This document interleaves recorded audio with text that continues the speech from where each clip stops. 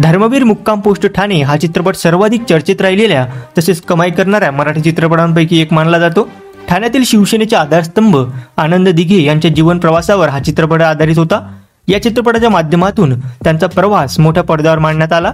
या चित्रपटाला प्रेक्षकांकडून उत्तम प्रतिसाद मिळाला. त्यानंतर आता लवकरच धर्मवीर चित्रपटाचा दुसरा भाग प्रेक्षकांच्या भेटीला येणार आहे. नुकतंच निर्माते मंगेश देसाई यांनी धर्मवीरच्या दुसऱ्या भागाची घोषणा केली आहे. दिगे साहेबांच्या माहीत नसलेल्या गोष्टी धर्मवीर दोन मधून उलगडणार? मंगेश देसाई मुलाखतीमध्ये खुलासा करताना म्हणाले की ज्वलंत हिंदुत्वासाठी आनंद दिघेंनी अनेक आंदोलने केली. आनंद दिघेंचं चरित्र दाखवताना दोन भाग नव्हे तर चार भागही पुरणार नाहीत. पहिल्या भागात आनंद दिघेंच्या अनेक गोष्टी दाखवायच्या राहिल्या. मलंगड बाबरी मस्जिद अशा अनेक गोष्टींमागे दिघे साहेबही होते. याशिवाय दहावीची सराव परीक्षा दिघे साहेबांनी सुरू केली. हे फार कमी जणांना ठाऊक असेल. तसेच निवडणुकीची स्ट्रॅटेजी योजना कशा प्रकारे आखायच्या अशा बऱ्याच महत्त्वाच्या गोष्टी धर्मवीर दोन सिनेमात दाखवण्यात येणार आहेत. धर्मवीर दोन हा चित्रपट दोन हजार चोवीसला रिलीज व्हायची शक्यता आहे. तर तुम्हाला काय वाटते या चित्रपटाबद्दल? कमेंटमध्ये नक्की कळवा आणि अशाच अनेक माहितीसाठी चॅनल नक्की सबस्क्राईब करा.